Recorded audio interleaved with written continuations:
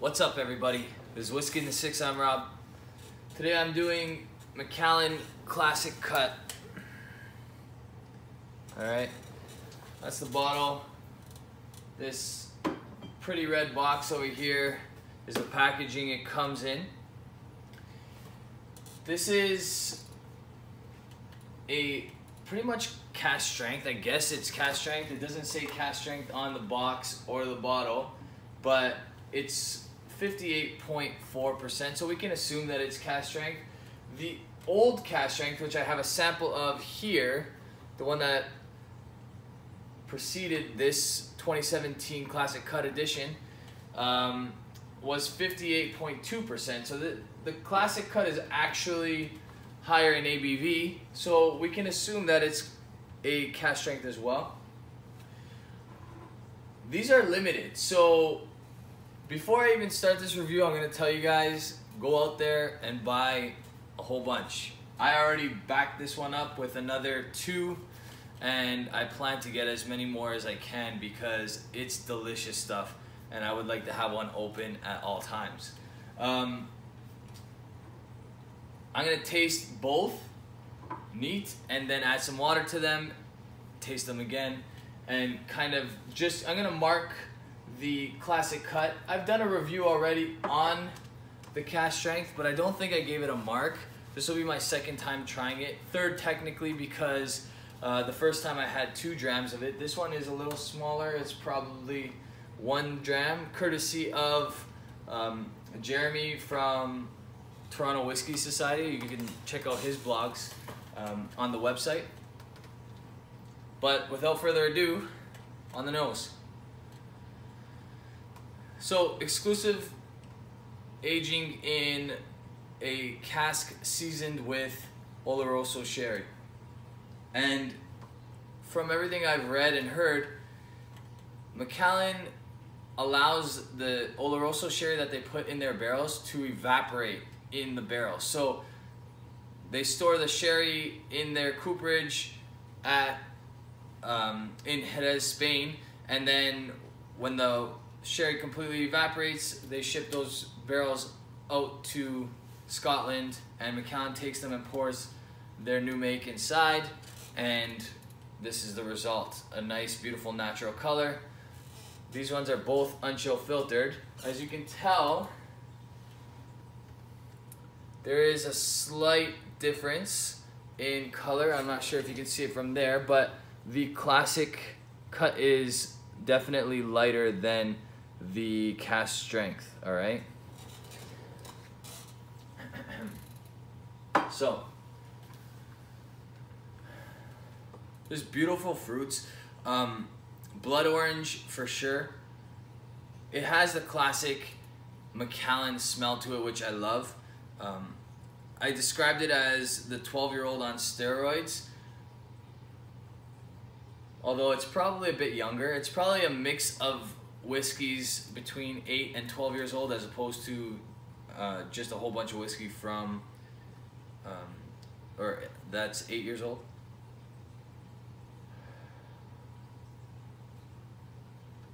Beautiful nose. There's red fruits in there.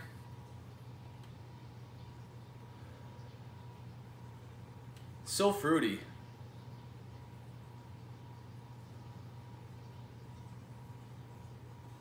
I love it.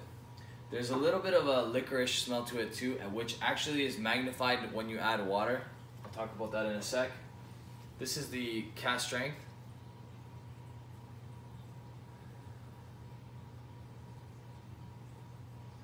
Okay, so on the nose alone, I feel that water would be useful for the cask strength to open it up a little bit.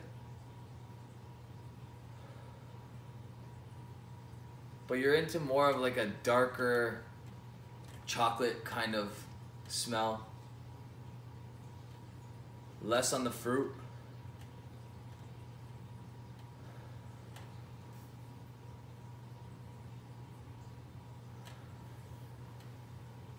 I wonder if water will do anything to that, but we'll find out in a sec. I'm gonna taste this neat real quick.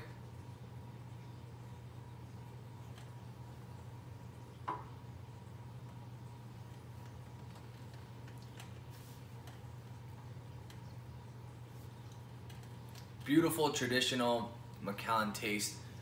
And I know a lot of people are saying that the Macallans of new are not as good as the Macallans of old.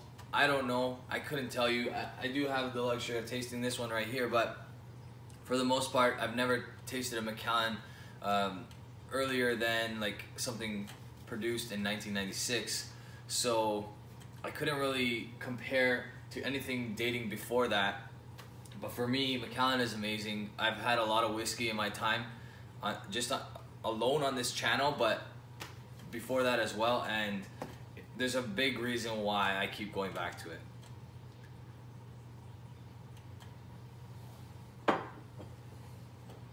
Definitely heavy on the fruits with the classic cut. It's a beautiful whiskey.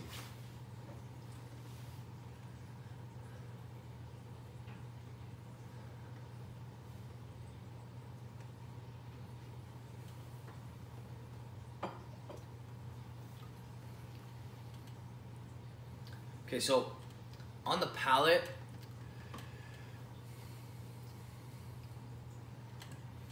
the cask strength is a bit smoother at the same pretty much ABV. I like the nose wins on the classic cut for sure, but on the palate, I give the slight edge to the, the cask strength. Um, the nose is a lot more dampened but the palate is just very creamy. It's rich. I actually want to do that one more time just because I want to make this fair. Because what tends to happen is you try one first and that kind of allows your palate to acclimate and then you try the other and it tastes a little bit better because your mouth is already conditioned to the high ABV. So we're gonna do that one more time neat and then I'll move on, move on to the uh, adding water. Mm-hmm. And just as I suspected, that creaminess comes in more. My palate's already acclimated to the high ABV now, and I'm able to enjoy it so much more. Pick out all those beautiful chocolate notes and some licorice notes, but not quite black licorice at this point. Honestly, that's awesome neat. A lot of red fruit. Way more fruity than the than the cask strength. I think the cask strength leans heavily towards a chocolate flavor.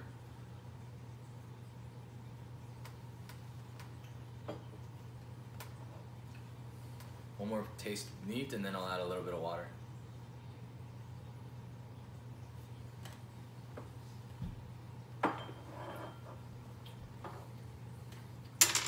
So this cask strength reminds me a little bit of uh, the GlenDronach single casks, which means there's probably richer sherry casks used for it, but that's not necessarily a great thing.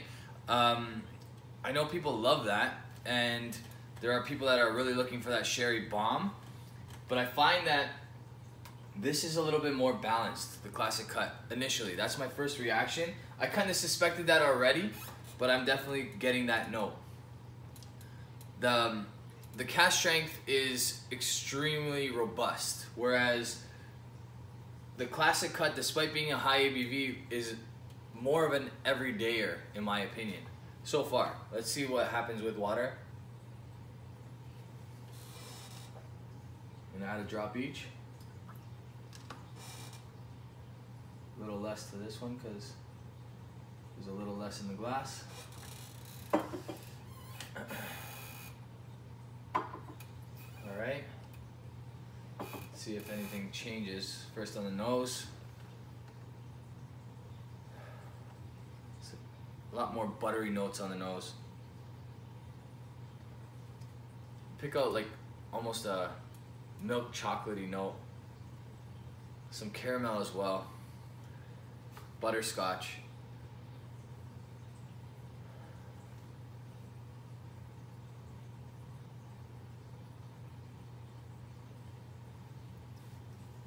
On the palate.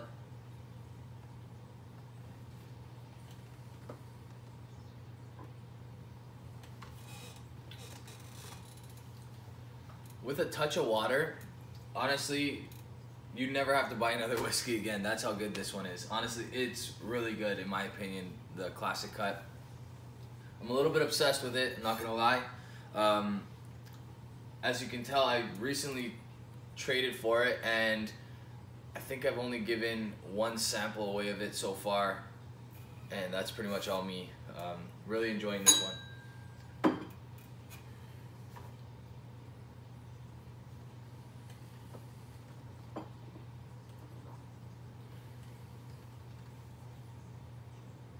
So with a little water here.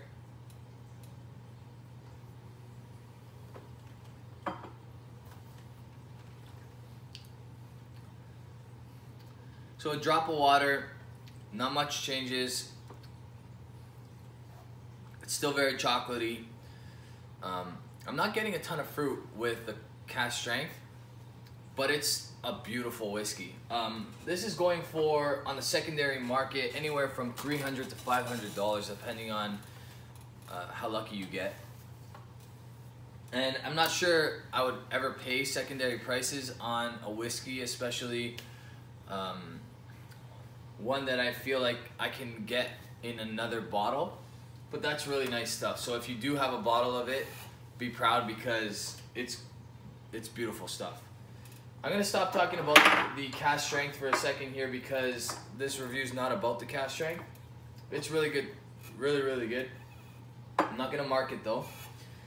I'm gonna move on to marking the classic cut.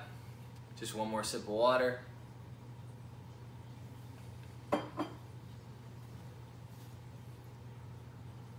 Nose is beautiful.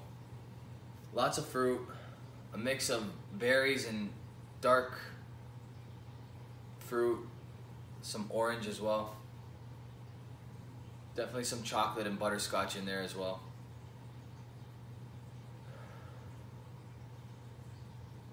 Right.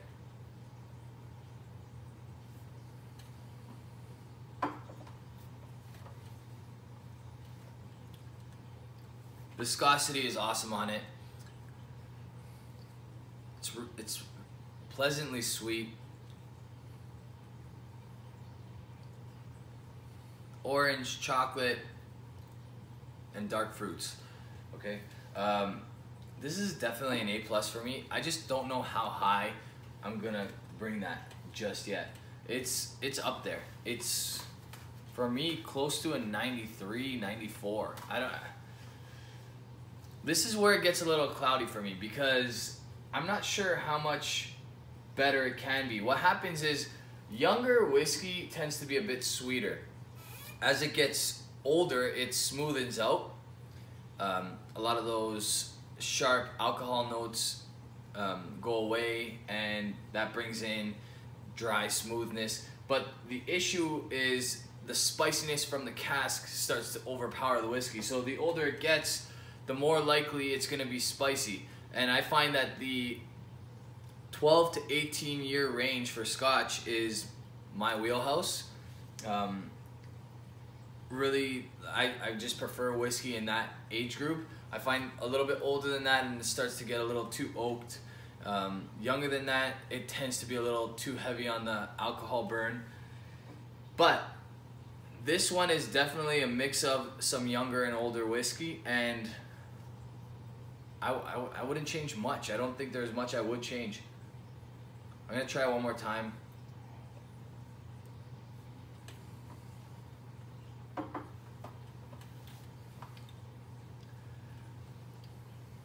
So, I think I'm leaning, when it comes to sherry, I'm, I'm leaning towards Oloroso as opposed to um, Pedro Ximénez. Um, I find it's more my wheelhouse again.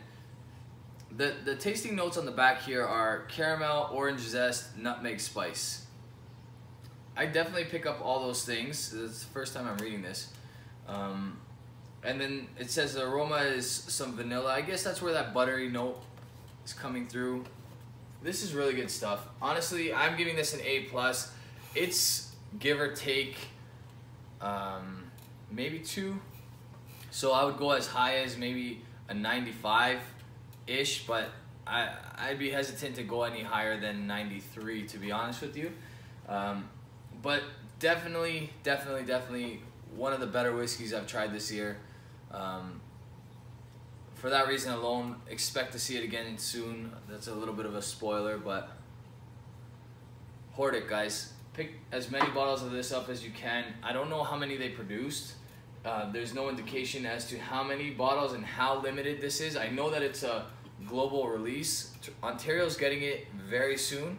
Um, from everything I've heard, it's in the new year. The United States pretty much has it everywhere, and the prices vary from 90 to 110 US dollars.